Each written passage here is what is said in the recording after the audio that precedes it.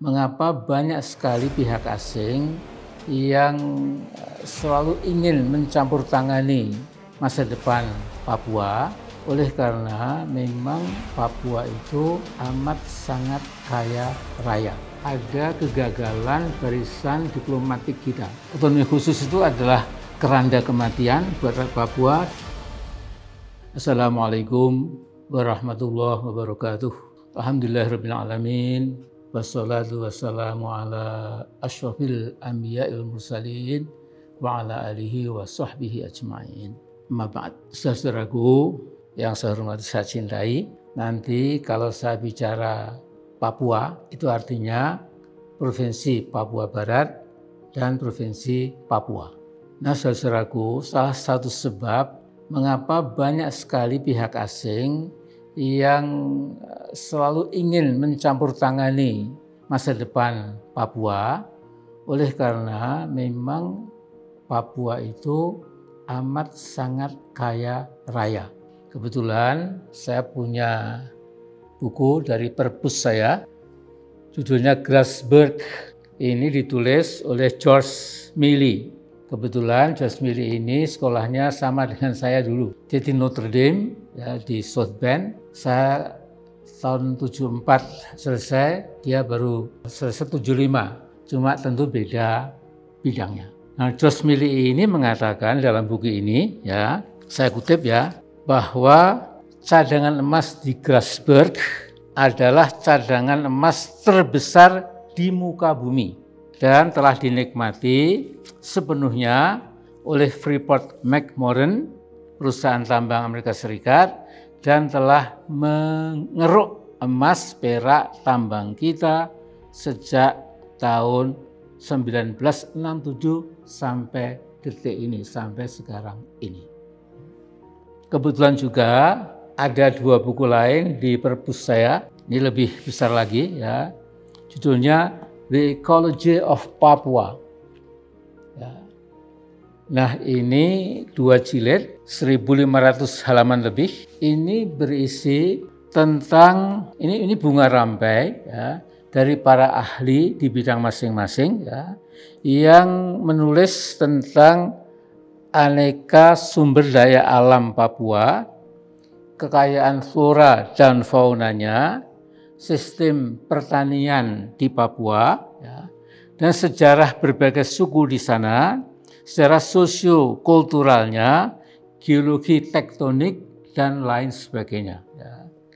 Jadi saya tidak membaca semuanya, saya nggak boleh bohong ya, tapi saya secara speed reading betul beberapa bab yang saya tertarik, memang Papua itu luar biasa, amat sangat kaya. Jadi kalau sampai lepas dari republik kita ini ya kita akan ya saya nggak tahu ya akan pincang ya karena memang Papua Barat dan Papua itu adalah sebuah warisan perjuangan Bung Karno ya, dan tokoh-tokoh kita masa lalu. Nah, tapi yang sekarang ini keadaannya amat rawan dan saya akan menyampaikan beberapa hal sesuai dengan saya amati sekarang ini. Saudaraku, kebetulan dari segi luas tanah Papua itu itu memang kira-kira tiga setengah kali lebih lebih besar dari Pulau Jawa. Nah, kalau kepadatan penduduk itu di Pulau Jawa satu kilometer itu dihuni 1131 manusia satu kilometer persegi ya. 1131. Nah kalau di Papua satu kilometer persegi ya itu hanya dihuni oleh lima orang rata-rata. Jadi sepi, sunyi. Ya. Saya pernah naik pakai bis dari Timika ke Tembagapura, ya, ke tempat apa pertambangan Freeport itu. Ya. Saya tidak pernah ketemu orang. Ya. Bahkan ketika berhenti di tengah jalan itu kanan kiri betul-betul seperti masih alam yang belum disentuh oleh peradaban gitu kedengaran gaung burung-burung atau suara monyet dan lain-lain ya. Terus kalian, jadi memang Papua ini amat sangat penting buat kita. Dan cara kita mendekati permasalahan Papua itulah yang saya kira memang harus betul-betul kita upayakan sebijak mungkin, setegas mungkin, tapi juga selembut mungkin ya, karena masalahnya semakin lama semakin kompleks, semakin tidak mudah. Kebetulan sekali saudaraku dari waktu ke waktu ya memang ada kegagalan barisan diplomatik kita. Jadi kalau kita lihat berbagai sumber berita itu ya dari majalah, dari koran-koran besar di muka bumi ini, maka memang sekarang ini dapat dibilang posisi politik diplomatik Indonesia, Jakarta katakanlah, itu sudah sangat defensif. Malahan kadang-kadang eh, reaksi dari Jakarta itu lucu gitu ya. Sehingga ada seorang Mengko, ya saya lupa namanya, mengatakan biarlah mereka deklarasi. Karena hanya di radio, di TV, di koran, ya kan cuma begitu saja, biarlah. Jadi seperti tidak digubris, padahal dalam realitas realnya itu perkembangannya sudah sangat ya, eksplosif ya. Sewaktu-waktu bisa bergolak, bahkan bisa meledak kalau kita tidak hati-hati. Dalam dua tahun terakhir ini, saudaraku, situasi keamanan di Papua memang makin berat.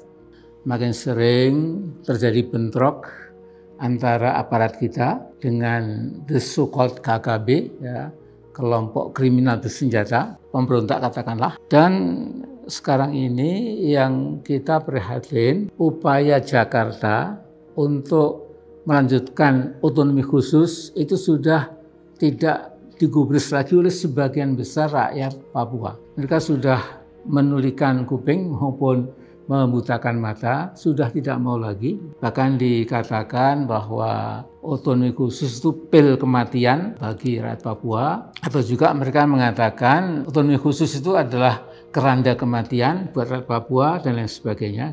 Dan coba lihat ya, terutama yang ada di pemerintahan sekarang ini ya, yang ada di kabinet tapi juga di mana-mana di TNI, di polisi, di BIN, di BAIS dan lain-lain. Itu dalami lagi bahwa Papua sekarang ini menurut saya sudah apa sudah berat lah ya.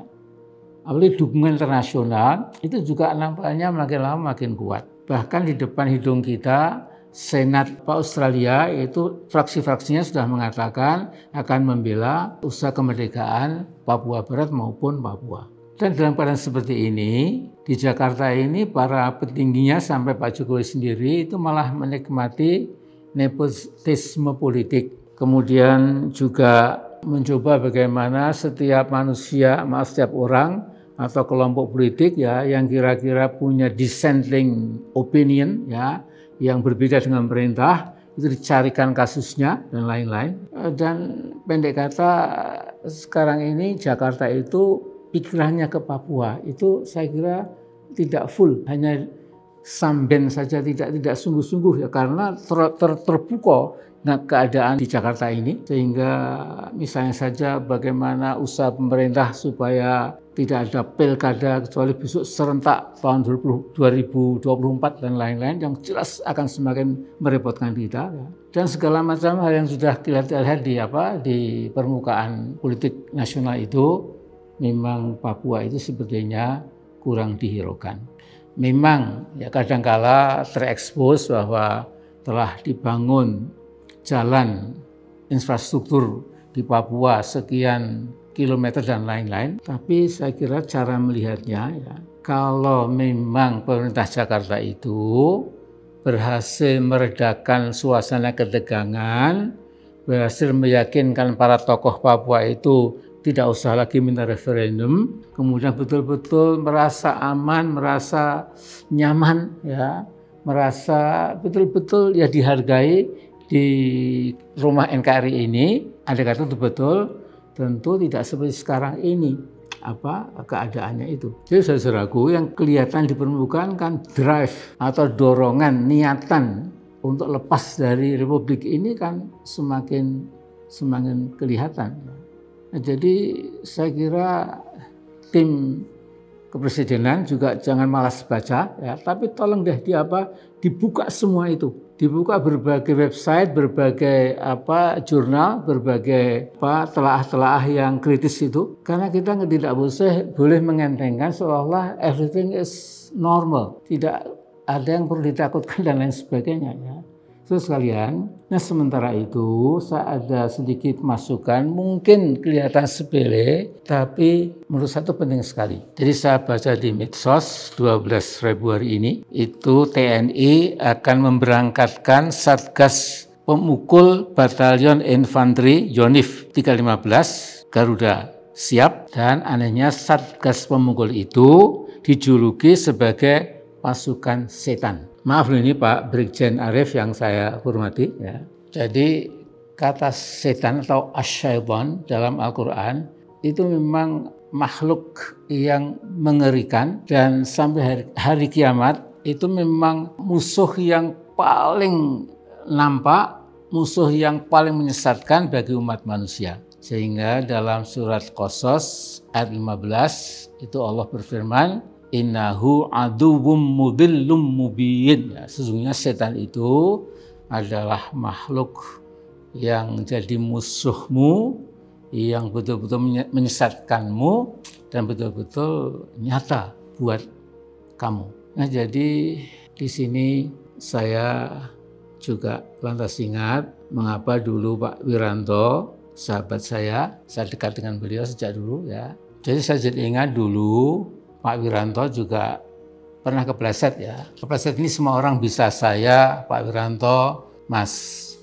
Brigadir Jenderal Arif maupun siapa pun ya Pak Jokowi semuanya bisa kepleset. Tapi misalnya waktu itu seingat saya Pak Wiranto pernah mengatakan kita bisa mencontoh setan. Kegigihan setan patut dicontoh. Kemudian meminta kader kader partainya supaya meniru kegigihan setan. Kemudian juga kegigihan kegigihan setan perlu ditiru untuk menangkan pemilu dan lain-lain. Nah jadi inilah ini kita jadikan sejarah saja itu. Sekarang kita menatap ke depan.